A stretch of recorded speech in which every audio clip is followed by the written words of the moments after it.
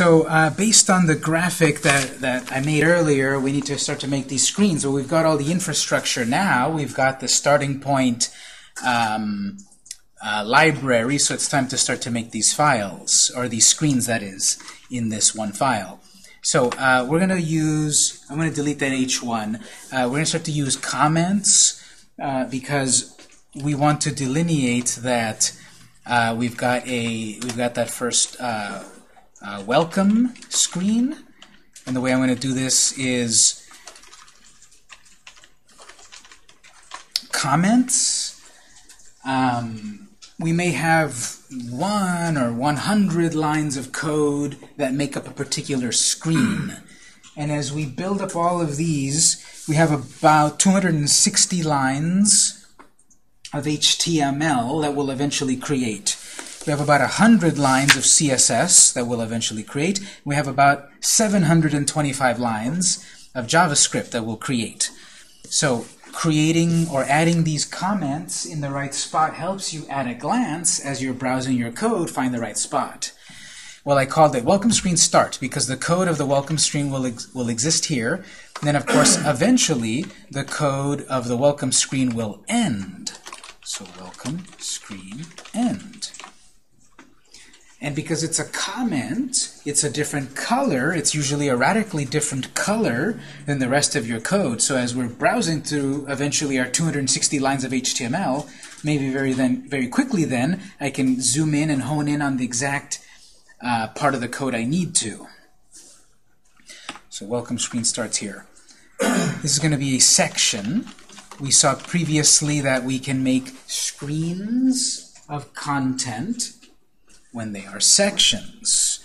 But we can't simply use section. We have to upgrade them via jQuery Mobile. So what else do, does a section need? What was that? Data role, data role page. Section then gets upgraded with a data role attribute of page. We already know we are eventually going to link from screen to screen. They needed a unique ID. So I'm going to call this PG welcome. I'm going to keep it very simple in terms of a page or a screen of content welcome. This, of course, can be called SC welcome for section welcome or you know, uh, screen welcome or, or whatever. These names are arbitrary. It whatever it's whatever that makes sense to you. Um, but we'll go with this. So PG welcome. Um, the first thing that I want to show here in the welcome screen is the name of the app and then the options for the person to log in or sign up. So we're going to create a header area The header, of course, is everything at the topmost area of the screen. We need to upgrade that. Data role header.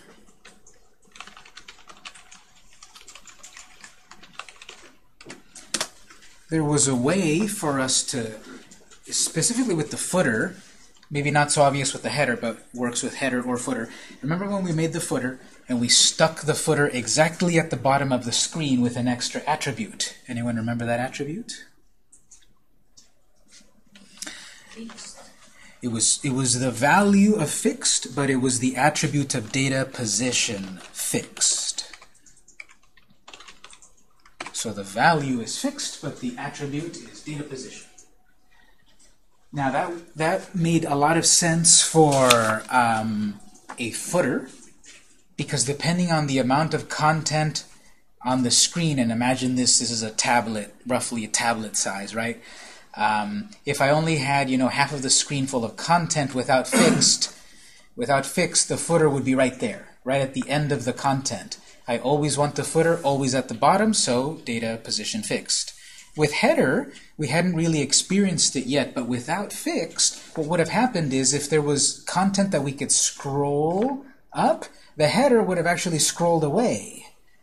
So whatever was at the top and more stuff scroll up, the header would scroll away. I don't want that. I want the header to always be visible. So data position fixed also fixes it always at the top. Data position fixed always fixes the footer at the bottom. And what I want to display at the very top here, H1, I want that to also say CBDB, the comic book database. Title up here only matters when it's a web page because our web browser at the top of the screen in the tab will display the title. But eventually when we get to a device, there is no tab in our app. It's the full screen. So whatever, technically, whatever we write up here in the title doesn't really matter eventually because it will never be shown when it's a real app. So I've got it here redundant in two places, and that's fine, and we know this because title will not appear in the app, but it will on a website. So definitely we display that there. And again, just to make sure this is on the right track, it's not that much more we've written, but you want to take a quick look in the browser. If um, if it's supposed to be looking how I expect so far.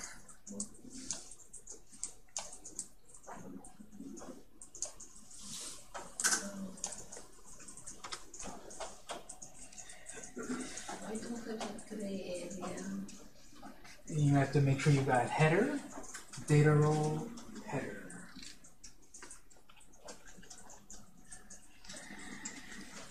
So we've got this first section where I want a header. And on this first section, um, this first screen, this is the welcome screen. So uh, I want to, um, later on, we can put graphics and better colors and such. Uh, that'll most likely be one of the one, some of the homework. Sometimes the homework will be I'll lead you up to a certain point, and then you have to take the next step. So uh, this isn't going to be so complex just yet. But the main thing that I want to see here uh, is a sign up or a login button, a way to go to the whole sign up procedure or the login procedure. So to keep it simple, we'll create a couple of buttons here. let's say after header we need article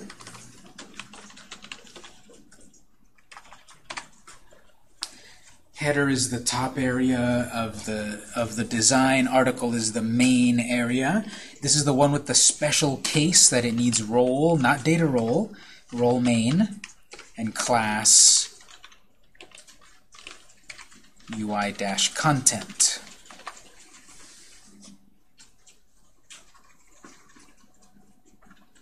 almost everything has some sort of data role. There's a there's a, only one really that has role, not data role. You just have to memorize it. The article is our main content, and its role is main. H2 returning user H2 new user.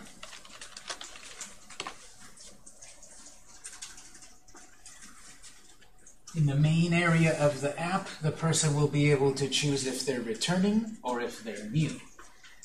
Um, as we go out through the whole length of these three months, uh, the great thing about programming is that there's so many ways to do it. The bad thing about programming is that there's so many ways to do it. So that means that if it's valid and if it works, it works. If the code runs and it works, it, it works. Uh, if there's another way to do it and it works, it works. Um, you know, if someone raises a hand and says, what about this? And if it works, it works. Uh, you know, what if it works, it works. That's the short answer. So if you'd like to do it in other ways, if you've learned in different ways in other classes, that's fine, as long as it works, pretty much. So what I'm getting at is that on some apps, you might see that as soon as you see the, the welcome screen, right away there is the login box or another button that says sign up. So sometimes there's an app that from that one screen you have those two things you can do right away. We're doing it a little bit of a longer way just to kind of show you the possibilities and then, then of course it can be changed to how you wish. But the point is that under returning user there will be a button that takes you to a screen like I had in the in the graphic, a sign up screen and a log and a login screen. So separate screens, separate buttons. A tag to say log in. A tag say sign up. I'm tab these over also just to kind of look at them conceptually. Both of these are heading 2s because they are both in the same level of hierarchy. H1 is the biggest, most visible thing on the whole screen, H1. Anything besides that then is a subsection. So we've got a section, sort of, of returning users, and we've got a section of new users. They're both equally weighted. They're both H2. If we had like returning user forgot password. In that case, perhaps, so don't write this, but perhaps I might have an H3. So don't write this, I'm just saying forgot password.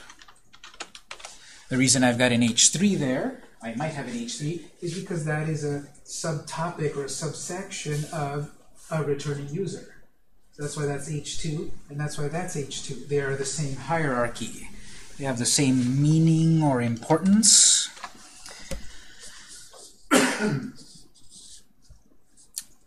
Okay, so these A tags don't work yet. They don't go anywhere. They don't have any attributes fully filled in.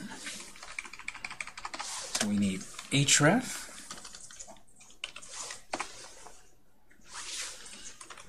pg login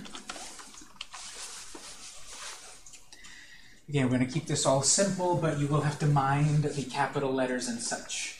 This is going to go to a page with a unique ID, login. So I need to do the same thing for sign up. A tag, href, pound, pg, sign up. I see on so many tutorials people trying to be really advanced in that they are so esoteric in what they write. For someone, that's going to make perfect sense. PSU, of course, that's my page of sign up. But for a lot of other people, what is PSU? I don't know your secret language. So I would recommend, especially as a beginner, it's okay to be verbose with these things and spell them out. Maybe you'll eventually develop your own shorthand and such. And I'm often going to be pretty wordy and pretty verbose as time goes on. But if you want to develop your own shortcuts, great. In this class, I'll do it the long way. I see so many tutorials uh, where it's a great result, but then when I try to look at their code, they, they, they name things like TC. what is TC? I have to read the whole thing to understand that that was like type converter. How would I have known that? They should have just typed type converter. Well, of course, some people just want to type quickly shortcuts. They have their own secret language. Great. But then when you're trying to teach or do tutorials, that doesn't help. These are supposed to be buttons. They don't look like buttons. What are we missing? Data. An attribute for data role button. Yes. So let's make each of these look like a button with a data role of button. An attribute of data role with a value of button. Here's where you can copy and paste if it works. I'm assuming mine works. Maybe you shouldn't. Yours assumes. Maybe you called it date role instead of data role. Maybe you called it data role instead of data role. R-O-L-L versus R-O-L-E.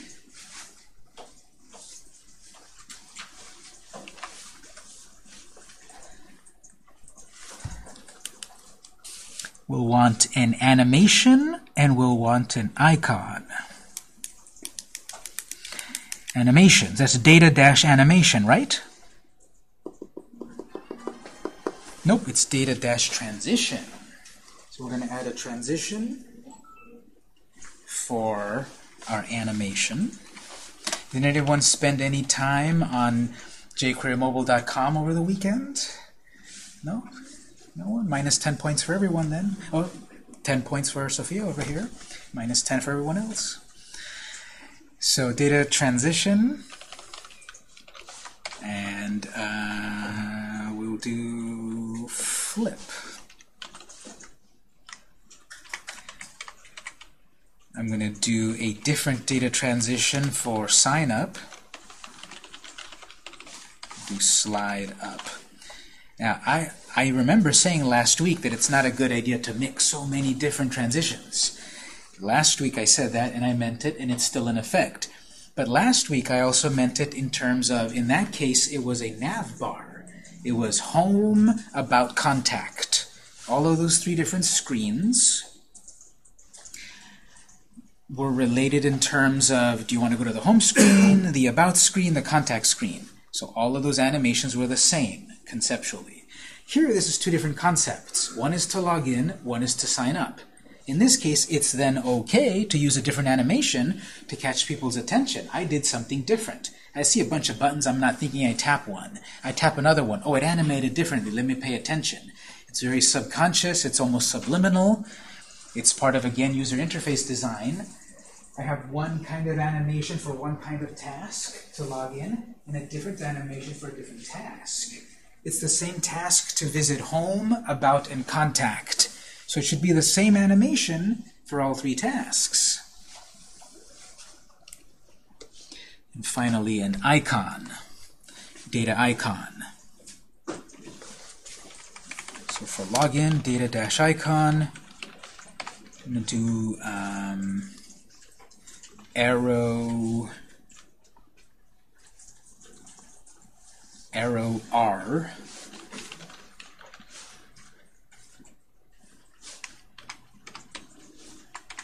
and for sign up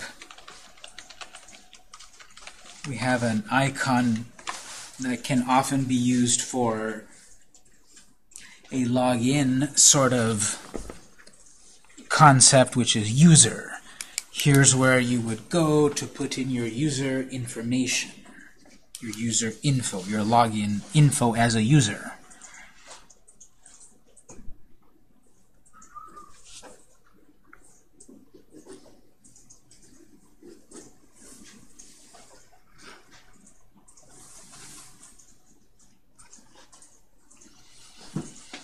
Take a quick look at it in the browser.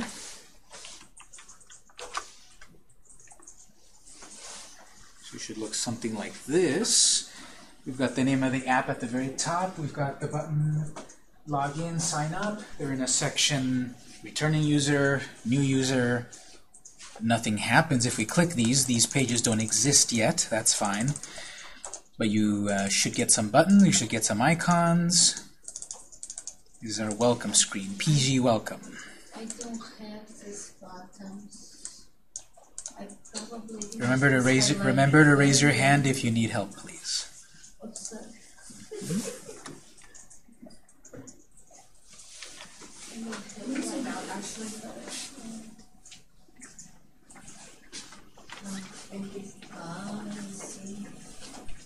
Yes. Okay.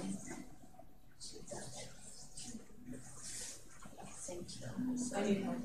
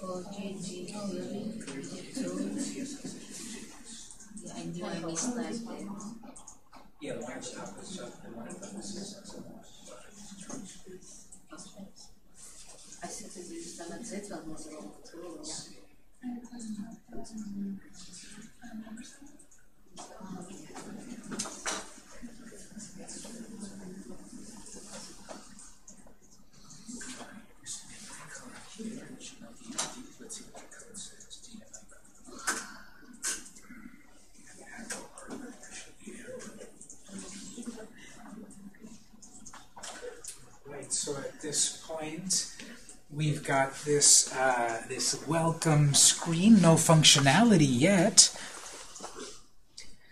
Uh, I'm gonna I'm gonna be bringing up um, debugging tools as the course goes on. Right now, this is all HTML, so it's not so much to fix. Debugging is the process of fixing errors in an app. But right now, because we're dealing with the easiest, quote-unquote, aspect of the app, HTML, there isn't that much to debug. When we get to JavaScript, that's definitely when you need uh, to, to do debugging. So I'm going to be showing this several times as the course goes on, and I'll show it one, the, for the first time here. I, uh, we actually did see it previously, now that I think about it, but I'll remind you. When we're in the browser, press F12, and depending on the browser, you're going to get some sort of console. This is our uh, this is our developer's console, and it may help you as we're writing our code and it doesn't quite work. It may help you to press F12 and look on console, and it may tell you at the very end over here, go look at line 7. It won't literally say 7. It will say the name of your file 7. So if you are getting some sort of messages in the console that might be an error or a warning that is happening that you might want to fix. At the moment mine seems to be fine, but you know if I had mistyped the name of one of my JavaScript files, you know, obviously it doesn't look right, but then I press F12, loading failed for the script with source blah blah blah. Oh, I mistyped uh, JS, line 25. So this debugger, this console here is going to be invaluable when we get to the actual hard parts. All of this is the easy part. CSS is the easy part. When we get to JavaScript, the hard part, we're going to look at this, and this will maybe tell us the error in a human readable way, but it'll definitely try to point to us what line you should go look at. So, remember F12. Um, okay, so the the project at the moment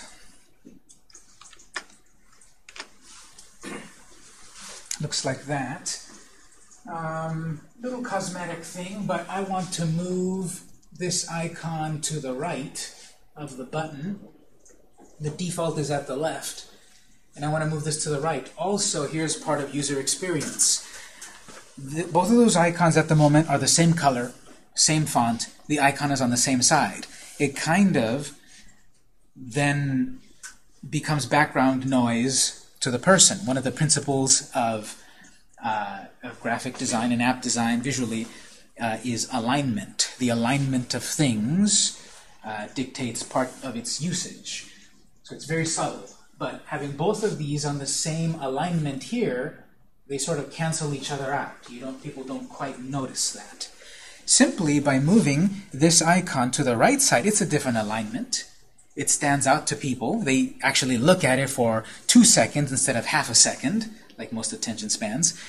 And so we're going to move the icon over to the right to catch their attention that this is a different button than this. Obviously different words, but we're going to see over and over that as we design our app, of course we know how it works, and we, of course we know how it should work. But you have to then think about, in terms of eventually, someone's going to use your app that has never used your app before, and how can we make it as easy as possible for them to use it to enjoy it. And a very subtle thing is simply moving the icon to the right.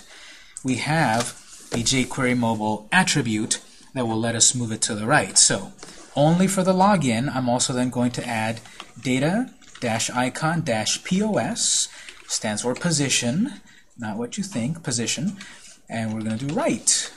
Position it to the right this icon, position it to the right in this button. And the purpose of all of that is that, hey, brand new user, look at this icon. It's different than the other one. Pay attention to it for half a second and understand that this is a different action than the one below it. And all of this app stuff happens so fast. Some people that are more tech savvy, they'll pick your, they'll pick up your app and use it in seconds. Other people might take a little longer. Other people might take a lot longer, and other people might never figure out your app and uninstall it. You have to decide how much of it is your fault and how much of it is their fault. So we try to do as much as possible so that it's not our fault. with good use, a good user experience and design practices and such. So, oh sorry, it's icon without a dash. No dash. Icon pos is one word. Sorry about that. Data icon pos. One word.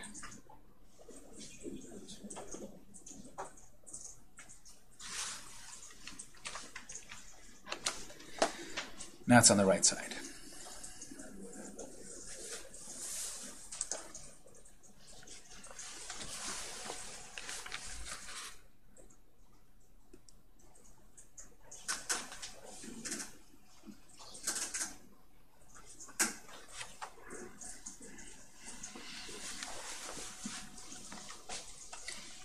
If your welcome screen worked, we can reuse it for a couple of other screens.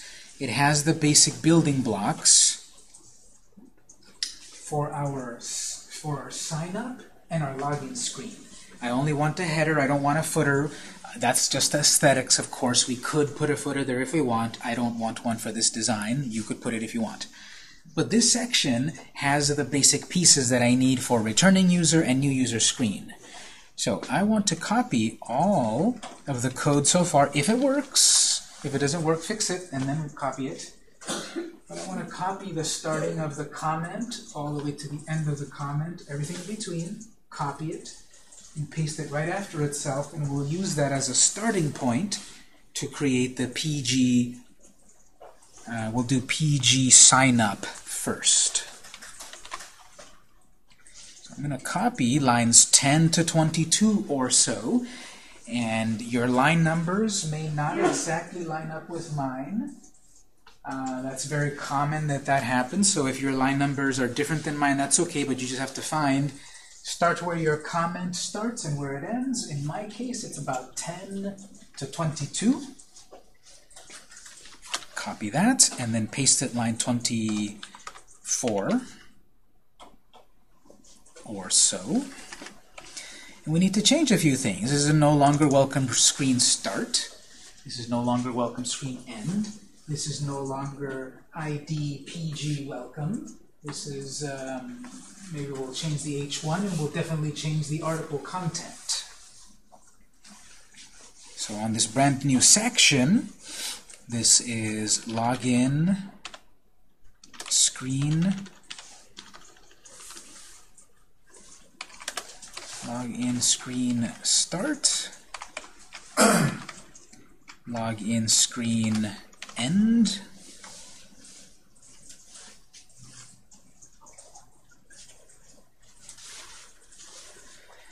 Section still data role page of course but now ID is PG sign up. I'm sorry what am I doing here? Yes um, yes uh, I did want to do sign up so let's fix the comment not the ID sign up. And it's a comment so it doesn't matter but I want to do sign up first uh, no one will be able to um, log in unless they've got us they've got an account first so we should be uh, creating a sign up procedure first.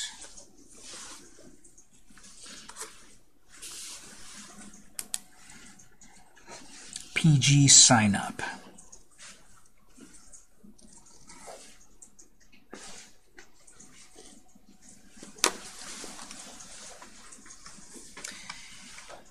Uh, H1 will say here sign up.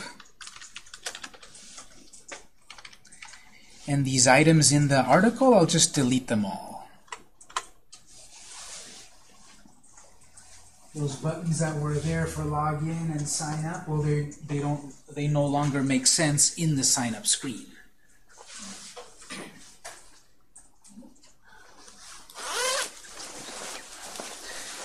So this is a brand new screen, a brand new section. Sign up, section data role sign up. You should be able to save it and test it at this point. From the welcome screen, you should be able to go to this sign up screen. Our IDs match. New user PG sign up should take you to section PG sign up. You should see the animation, um, which was slide up. It should take you to a brand new screen that all it really should say at the moment is sign up in the header.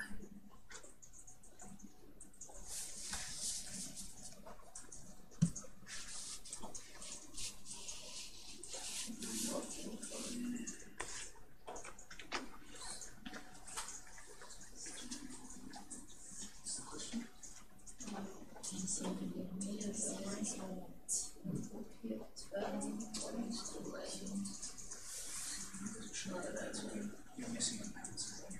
Pound sign.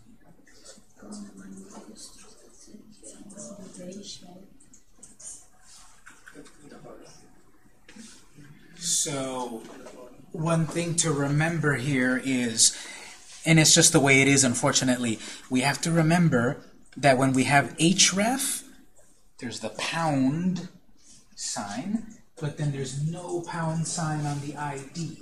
You can kind of think that ID means pound sign, basically. So make sure there's a pound sign in href, but no pound sign in ID. So let me check mine. I'm in the um, welcome screen. I click sign up. Goes to sign up.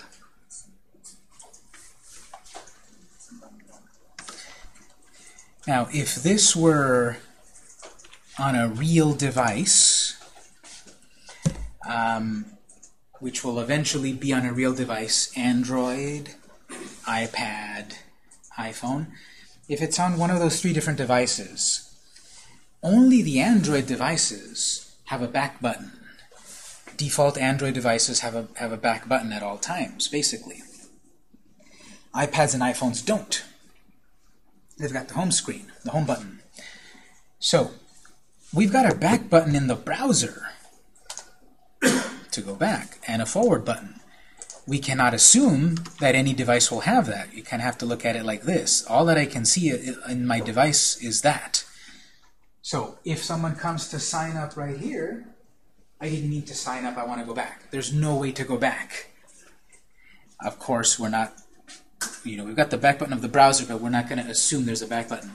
So we should always, what I'm getting at is that we should always create a way in the actual viewport, in the actual body, we should create navigation elements. We should not assume that the web browser will be there, back and forward, and we should not assume that we're going to be on an Android device which has a back button. Because our app is going to be universal. It's going to work on all devices. And iPhone, iOS devices don't have a back button. So there's actually a very easy way to add a simple back button um, up on the up on the header of a screen. In our sign up section, in the header, data role header, data position fixed, one more attribute. This one's a funny one. Data dash add dash back dash btn equals true. This has a very specific purpose. It adds a back button to the header where it is automatically programmed to take you back, take the user back one point in history to the previous screen. so this is going to cause uh, some problem for some people, and I'll and I'll explain why. So I'm going to test mine. I'm going to save it and run it. I'm going to go from welcome to sign up. I get a back button. Great. Here's where the problem is going to happen for some of you. You're going to be in your web browser. You're going to press refresh. Where's my back button? The teacher's worked, but mine didn't. There is no history when I refresh from here. So there's no nothing to go back to. You should be refreshing from the home screen. Then when you go to sign up, back button. If you try to refresh with from within this screen, back button doesn't appear because there's no history. That's why when I am testing it in the class, I'm doing the shortcut here. I'm actually doing a keyboard shortcut. Control Alt Shift X. It really rolls off the tongue. but once you memorize that, which you can do with one hand if you have the skills, or Chrome, or Internet Explorer, if you run the keyboard shortcut that way, you know it will automatically appear in the, the latest version. When, whenever you start refreshing and you're not on the home screen, there's a little bit of weird behavior. That's obviously not a bug or anything, that's just a quirk that it's refreshing from whatever screen you're in. And therefore, some things like back button won't work because it's based on history, but when you refresh, there's no history, sort of. So if you memorize some of these shortcuts, and so many of these menus, if you never realize, Save As is Control Alt S, Close is Control W, Control N, a lot of us know that, New File, Control Z, or Command Z, Undo. There's shortcuts for opening in the browser, and that's what I've been doing all along. So I recommend to try to learn as many of these shortcuts as possible because moving your hand from here to here and clicking here and clicking here that takes up a few seconds, but all of those seconds add up to minutes and wasted time and productivity. We should press four buttons at the same time. It's safe to do Control Alt Shift and then X. No one can hit all four at the exact same time, so you can do Control Alt Shift and then X. Yeah. So then you do all four, and then you get the browser. So sign up. Didn't mean to go there. I meant to log in, so there's back. That icon, of course, can be changed, but the default is that it'll say the word back. It'll give the automatic caret L, but all of that can be changed, of course, if we go look up the documentation and figure out how to change it. It's fine for us at the moment. And notice the animation. Sign up does a slide up to catch your attention. Back is slide down. Login will be flip. We're not there yet, but then that's a that's a slide up. That's a slide down. It's a different kind of animation to catch the attention. If it doesn't slide, you misspelled it. Uh, I don't know how you would misspell slide up, but you it's possible. So that sign up screen is going to have a whole procedure for creating an account. We'll come back to that in a little bit. Let's create the uh, login screen. Um, it's probably, here's a super advanced trick. No one knows this. If you copy something in the with the in the in the into the clipboard, if you do Control C, it stays there until you copy something else. So I copied something else and it replaced anticlimactic. It was supposed to paste in what I had previously, but I did copy something else. It might still be in your memory if you try to paste. Uh, but I might as well, if if you're trying to save time, you might as well copy the sign-up screen. That's as much as we need here. I'm going to be removing anyway this, you know, returning user and new user stuff if you copied the welcome screen. So the sign-up screen is basic enough for me to reuse that. Um, for a brand new login section.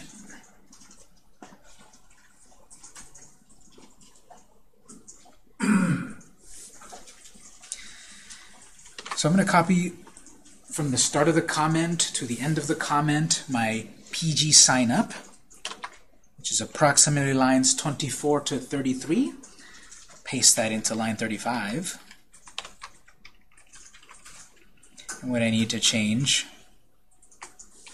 instead of sign up, login screen, start, login screen end, ID pg login h1 login. I'm going to leave the data add back button because then there's that option. I wanted to log in. Whoops, I need an account. I can go back. We could set up a way that from this screen to also help the person and tell them, don't have an account yet? Click here. And then that will further take them back over to PG signup.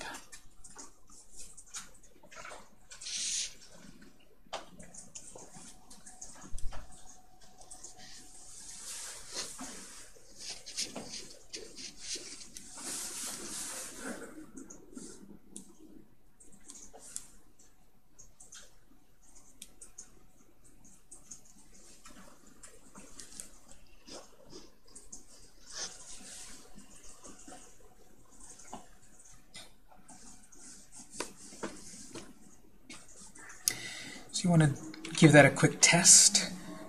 It should work if you've got your IDs correct.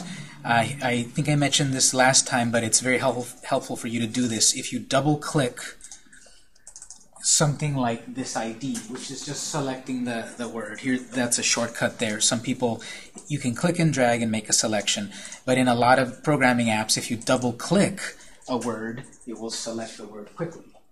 If you triple-click, it often selects the whole line. So instead of dragging all the way across here, and whoops, I missed, I went too far, you can triple click a line, and that often selects the whole line. And I'll remind you of these things as we do them. There's a lot of shortcuts, and um, this is one of them. Double click one word to select the one word. Triple click one word to select the whole line. I don't think there's a quadruple click. No. So triple click selects one whole line, double click one word.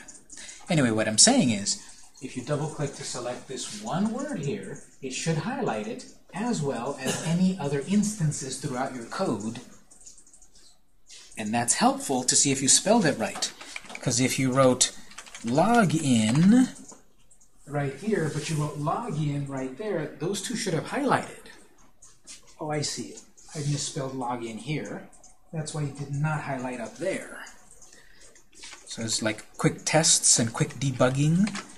I expect that I can get to this screen because I've clicked on a button. That button has the same ID as this ID, so it should work in theory. That still doesn't fully protect you because if you didn't put a pound sign up there, that's the same, that's the same, it doesn't work. I forgot the pound sign. So it doesn't fully you know, protect you from those sorts of things, but I find it so useful when I when people ask me for help to simply let's select that ID in question. It didn't highlight elsewhere. Oh, we see the misspelling. So there's no debugger just yet that will tell us you misspelled line 7. You put L-O-G-G instead of L-O-G. There's nothing that smart yet. And we would think, well, after, you know, 50 years of programming, these things can't tell us what the error is. These Sometimes these things are not as simple as simply typing the wrong letter. You, you have syntax errors and you have logic errors. And the logic errors are the even harder ones to figure out. Let's see if mine works here. I have login, flip animation. Takes me to login, back button, unflip. Yes?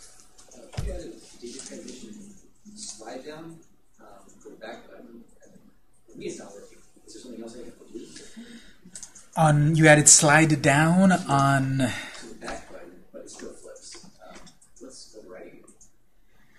okay to the back button. We need to. Um, this is sort of like a pre-packaged icon, text, and animation. I would have to look up how to re how to override it, but we would be able to override it so it's a different animation. I wouldn't recommend to do it because again, it's going to break people's expectations. If it's slid up for a certain task, it should slide back down for the opposite. If we then make it do a different kind of animation, subtly and subconsciously, it seems like something else happened, so that might confuse people. But we'll have to look it up. I'll have to look it up to tell you how to override that, but it's possible. Let's see, so at my point right here, um, eventually when a person logs, when a person uh, creates an account uh, from the sign up, it will it will let them, it will take them over to, to log in. And then when they've logged in, it'll take them to the to the home screen. So while we're here, let's create one more basic screen, one more basic skeleton of a screen, the home screen. Now, at this point, I believe I still have copied into memory. And now if I paste, yep, so it's still in memory. That's what I'm trying to say. Things that you copy stay in the memory until you copy something else. I hadn't copied anything else after I did all of that typing, so that was still in my memory. And I paste, and I've got a brand new section. So copy the login screen section and paste it to create a brand new home section. Home screen start. Home screen start. PG home. And we'll put at the top home. And I'll remove the data add back button. I don't want to go back from the home screen back to the previous screen. I don't want them to get out of my app that way. When I drew the wireframe, I had it that if you go to home, it was a one-way arrow. You weren't able to get from home back to login. The way to get back to login is you have to go to options and then sign out. So remove if you copied and pasted, remove the Data Add Back button to your PG Home, from your PG Home.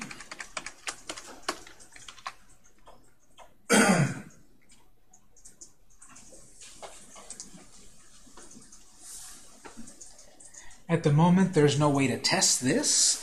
There's no functionality that actually lets you come to the home screen. If you wanted to fully test it, you can create a very simple link, very simple button uh, from, from login to take you to home. That could be you your fun task to do. I'm not going to do it. You could do it. To fully test it, I'm going to assume mine works. You shouldn't your you shouldn't assume yours works. Um, and uh, we'll take our second break at this point. You want to make sure these screens work so far. We're going to go back in and, and, fill in the details, of course. They're not complete at all, but we're creating the basic skeleton of some of these screens. Uh, it's approximately 8.10-ish. We'll take a break for 10 minutes, so we'll, take, uh, we'll come back at 8.20, uh, and we'll go on.